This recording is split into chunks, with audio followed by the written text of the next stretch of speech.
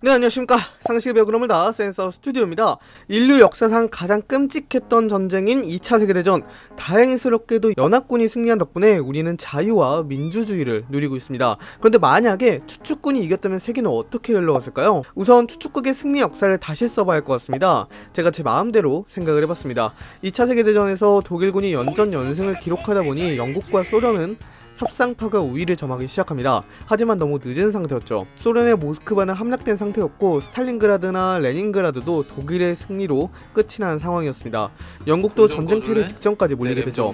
이렇다 보니 영국과 소련은 사실상 모든 걸 내려놓고 협상을 하기 시작합니다. 그 결과 영국의 대부분의 식민지가 추축군의 할양이 되었고 소련 우랄 산맥 서부 지역 전체가 넘어가게 되었습니다. 지도상으로 보시면 아시겠지만 사실상 유럽의 90% 이상의 지역을 추축군이 점령하게 된 것이었죠. 아프리카나 중동의 상황도 마찬가지였습니다. 저항 세력들이 모두 의지를 잃고 항복을 하게 되었죠.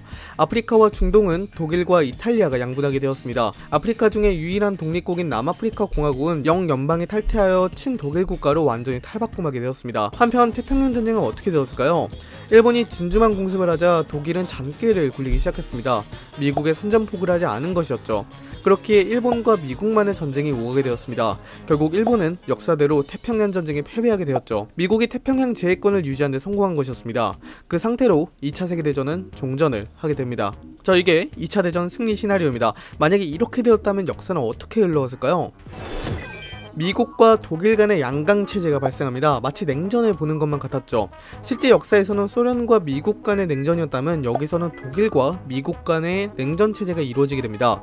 아시아와 북아메리카, 오세아니아를 확보한 데 성공한 미국과 유럽과 중동, 아프리카를 확보한 데 성공한 독일 간의 냉전 체제였죠. 미국과 독일을 중심으로 국제 연합 조직이 만들어지게 됩니다. 이들은 서로 서로 견제하며 세계 곳곳에서 대리전을 치르게 됩니다. 다만 실제 역사와 차이가 있다면 이념 전쟁이 아니란 것입니다. 그리고 미국의 유럽 동맹국들이 전부 없어졌다는 것이죠. 한편 소련과 영국의 상황은 암울하기만 합니다. 먼저 소련부터 보겠습니다. 우랄 산맥 동토 지역만 점령한 데 성공한 소련은 예전의 위상을 다시 살리지 못하게 되었습니다. 독일이 우랄 산맥을 넘지 못한 것은 당시 기술상으로 우랄 산맥을 넘어서까지 전면전을 치를 수 없었기 때문이었는데요. 결국 협상하게 되면서 우랄 산맥 동토 지역만을 점령하게 되었습니다. 하지만 시베리아는 너무나도 거친 기후와 환경이었습니다. 농사도 짓기 힘들다 보니까 순전히 유목에만 의존하며 살아가 했는데요. 이런 경제는 성장할 수 없는 체제로 발전하게 됩니다. 그리고 경제의 가장 중요한 교통도 사실상 없습니다. 봄이 되어 날씨가 풀리면 모든 도로가 진흙탕이 되는데요. 이렇게 되면 차가 움직일 수 없습니다. 즉 교통이 마비가 된다는 것이죠. 결국 소련은 성장도 제대로 하지 못한 채 세계 열강들 속에서 도태가 되기 시작합니다. 소련의 정치권도 한번 달라졌습니다. 우선 스탈린이 죽게 되었죠. 스탈린은 국가 전반에 대해 대숙청을 단행하였습니다. 공식적으로 68만 명의 숙청 희생자가 발생하게 되었죠. 그 정도로 많은 사람이 희생을 한 것이었습니다. 그 결과 스탈린 스탈린은 반대파를 많이 만들게 되었는데요. 전쟁까지 패배한 지도자니 이 지도자를 가만히 내버려 둘 리가 없었죠. 반대파들의 역습이 시작되면서 스탈린도 결국 죽게 됩니다. 자신이 던진 부메랑이 자신에게 돌아온 것이었죠. 영국도 암울하기는 마찬가지였습니다. 대부분의 식민지를 추축군에게 빼앗겼기 때문이었습니다. 영연방도 사실상 해체 수순을 밟게 되었죠. 처칠 내각도 모두 실각하게 되었고 역사책에서는 패배한 지도자라는 오명이 남게 되었죠. 하지만 영국은 놀라운 경제 성장을 보여주게 되는데요.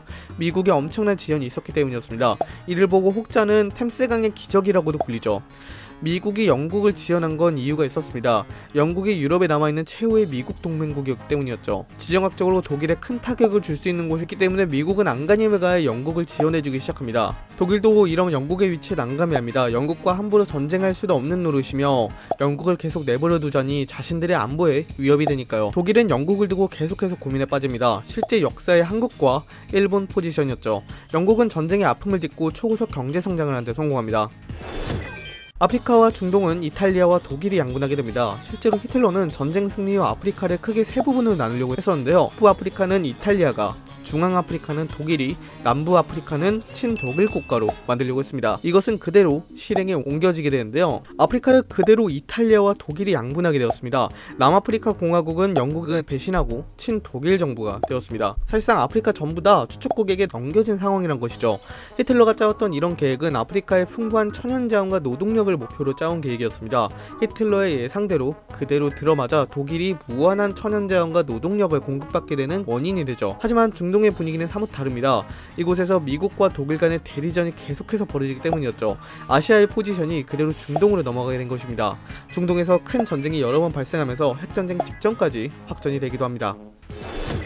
태평양 전쟁에서 패배한 일본은 역사대로 흘러가게 됩니다. 친미 정권이 탄생하게 되는 계기가 마련되죠. 한국도 마찬가지로 독립을 하게 됩니다. 하지만 실제 역사와 다른 게 딱 하나 있습니다. 통일된 정부라는 것이죠. 소련의 힘이 약해져 분단할 힘이 없어지게 된 것입니다. 한반도 전체를 친미 정권이 차지하게 되었습니다. 역사가 달라진 것이었죠. 아시아와 오세아니아에 막강한 영향력을 행사할 수 있게 된 미국은 아시아와 오세아니아를 중심으로 새로운 군사 조약을 만들기 시작합니다. 마치 실제 역사의 북대서양 조약기구처럼 말입니다. 이곳에서는 호주와 뉴질랜드, 대한민국 대한민국, 일본이 참여하는 형식으로 흘러가게 되었죠. 반면 중국에서는 국민당이 승리하게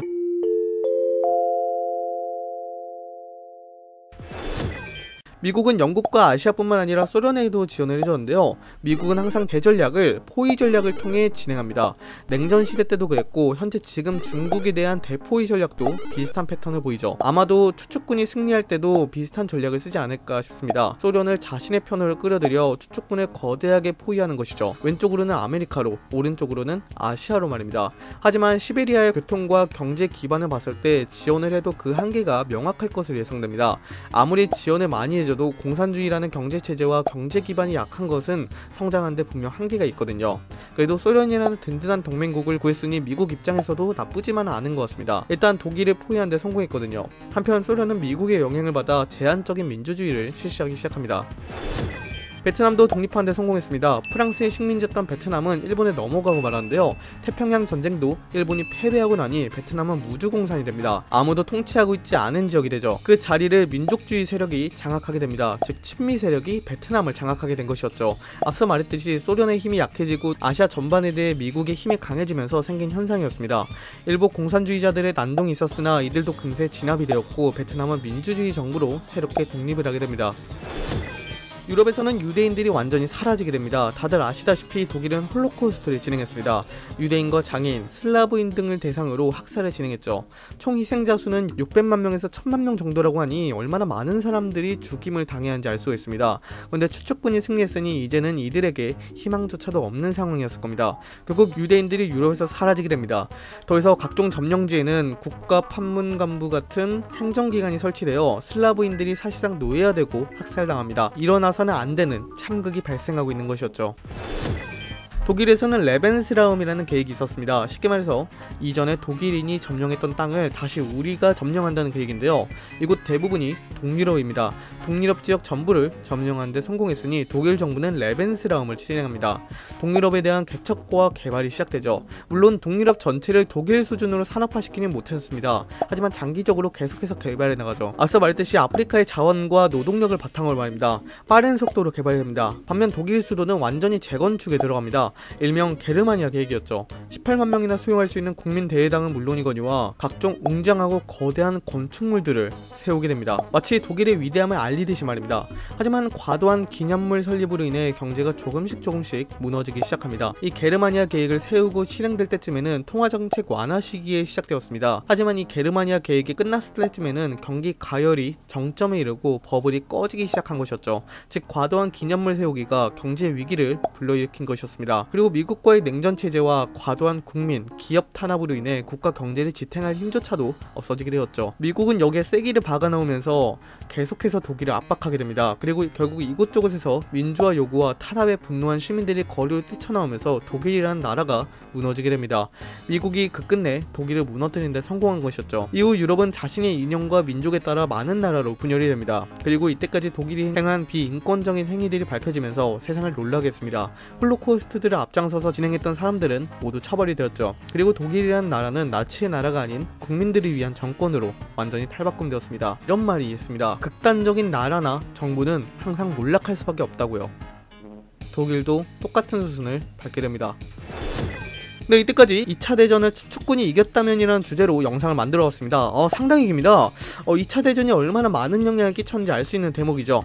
여러분들은 2차 대전을 추축군이 이겼다면 어떻게 되었을 것 같나요? 댓글로도 남겨주시기 바랍니다. 이상 영상 마치도록 하겠습니다. 빠이엄 이상 상식의 비그럼을 달 센스 스튜디오였고요. 주제를 신청하시려면 댓글로 센서 스튜디오에 더 많은 영상을 시청하시려면 구독과 좋아요 알람 설정을 해주시면 감사하겠습니다. 감사합니다